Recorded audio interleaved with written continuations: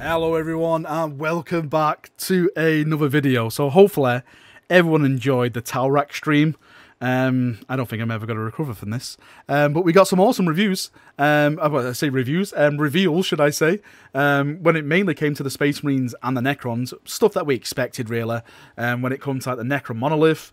And, um, of course, that trailer you just seen then with the brand new Gladiator tank, which I absolutely bloody love. Um, but there's more to talk about because um, even though we are getting new codexes, there's a big shake-up coming with the codexes. We had a little video at the end showing some um, new models and everything like that. So let's just jump in and just let's get talking about everything that was shown off today. So let's just stay on the topic to the tank and let's just you know keep on with that and get this one out of the way first. Um, so this is amazing. I absolutely love this design. I love that it has multiple weapon options. Um, it does say here, based on the chassis of the Impulsor, the Gladiator is a fast, flexible battle tank that provides deadly fire support in any chosen flavour you wish. You just saw the Gladiator Valiant, a short-ranged armour hunter that uses twin las talons and um, multi-melters to scrap armour and heavy infantry alike. Now, some of the other ones we have here, it says that is just one of the trio of Gladiators. Take the Gladiator Reaper. This tank is the ultimate infantry killer using the Tempest bolters and twin heavy onslaught Gatling cannons to blend your foes' battle lines. You can see the big cannons that I have at the top. Um, I actually do love like like the dual main um, weapon things at the top. This is this is what I really wish they would have did with the heavy laser destroyer um, on the executioner tank. So I like how they like took the design and they've actually put it on there. Um, and the last one it says um, you could also build a gladiator lancer, an anti-tank sniper that's ideal for chewing through your opponent's most durable war machines and monsters. It says add, add tactical flexibility to your battle company or field them alongside repulsors, repulsor executioners, and impulsors. Now the one on that gladiator lancer, I actually think that is a heavy laser destroyer.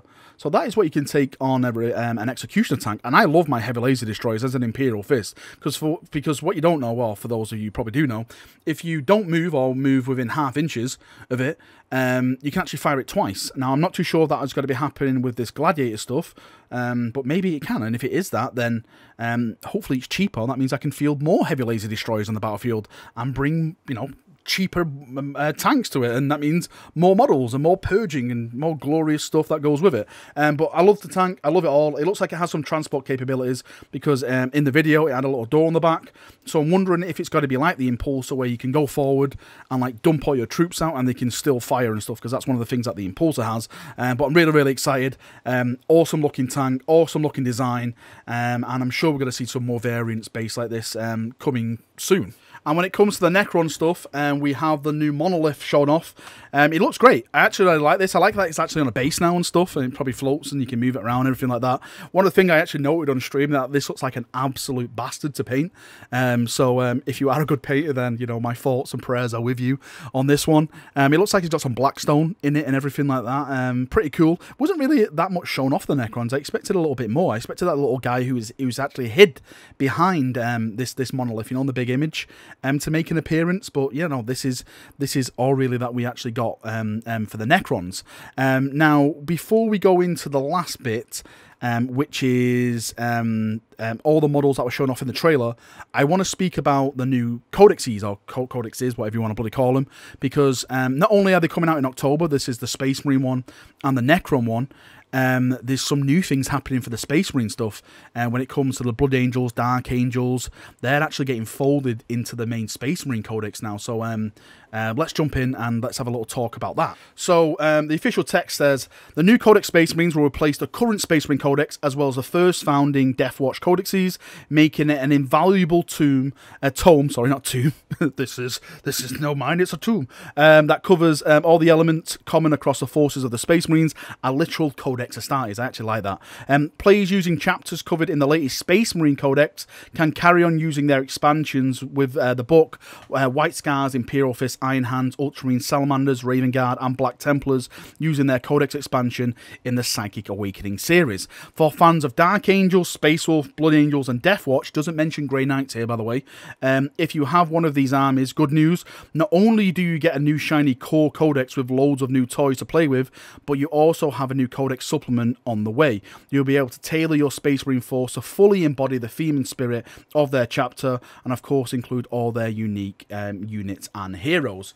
Um, so what's basically so what's basically saying is that it's it's more or less getting folded into one big, big massive tomb uh, tome. Why do I keep calling it a, tomb? A tome um, of everything, which I like because that way, you know, I don't have to like bounce through all the codexes, but you will be still getting the supplements. And I think what's going to be happening now is that you're just going to be getting stuff that we got as an Imperial Fist, like um, um, a little bit of lore in there, um, some stratagems and stuff, and you're probably going to get a new model um, when it comes to these supplements being released. Now, it didn't mention on there, and I don't know if they mentioned it on stream because, of course, we were talking amongst ourselves.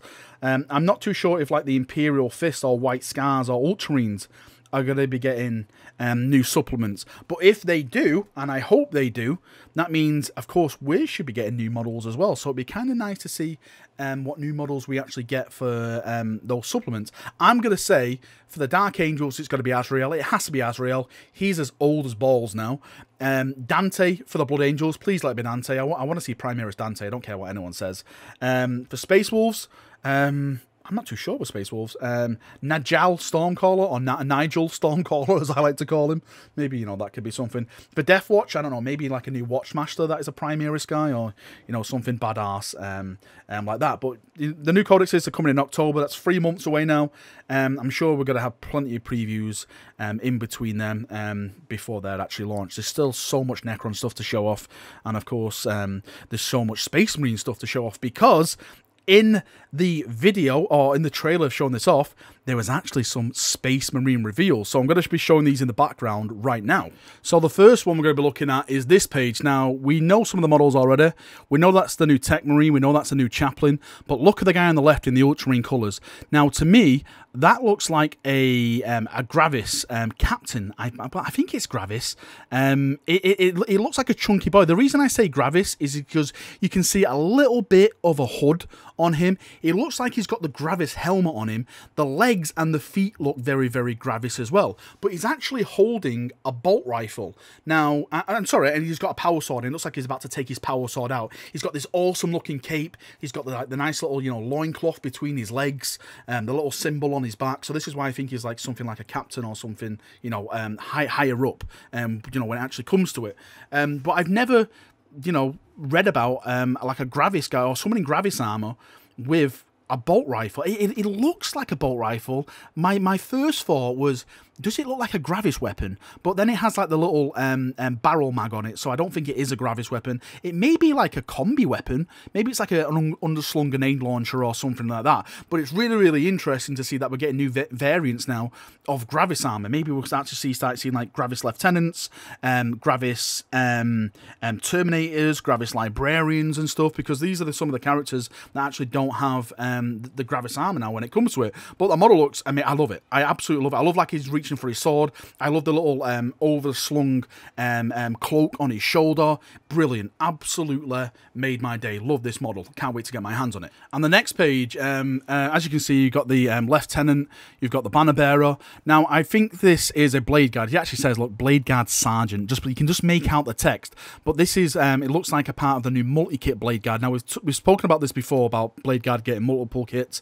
Um, we've, we saw them a bit, but some these are some of the new poses, it seems. Now, it looks like this guy is like completely like just pulled the sword out of his like scarab and he's holding it like two hands like he's like badass like moving forward um so and again that's another um little preview we actually got in the codex it looks incredible again another awesome little pose i can't wait to get my hands on these blade guard guys because they look absolutely just baller. I just I, I, just need him in my life ASAP. And right at the end, of course, we got um, um, a new reveal of what's yet to come for 40k. And we were all thinking it was going to be the land speeder at the end. It wasn't. Um, I saw like a Nurgle guy in there. Um, I saw Lelith Hesperax in there that a lot of people have been saying. Um, we saw like an Ork, um, a Mechanicus guy in there. The Ork stuff is really interesting because I'm wondering if they're going to be doing new boys or anything like that. I'd love new boys just to piss off Gung. Um, and uh, the end of it was showing like a, the full sister of battle. I wish they actually showed one of the Xenos rather than the sister models right at the end, like a full fledged, you know know, like Ork model or the Lelith Hesperax model, or even like the Mechanicus guy, you know, just to, to show off, because we just had like a massive range of sisters. There's me complaining about sisters, even though we just had all the Space Marine stuff. I know, I'm sorry. Right, that's me done for another video. Thank you for coming. Thank you for watching. As always, please leave your thoughts, feedback, everything like that down below, and we'll have a nice little chat down there, as we always do. What do you think of the Space Marine Codexes, you know, getting folded all into one kind of thing? What do you think of the new Space Marine tanks, the new um, Necron Monolith, um, the models that were shown off at the end? Post it all down there, and we'll have a nice little talk, as we always do. See you now. Have a great day, and bye-bye.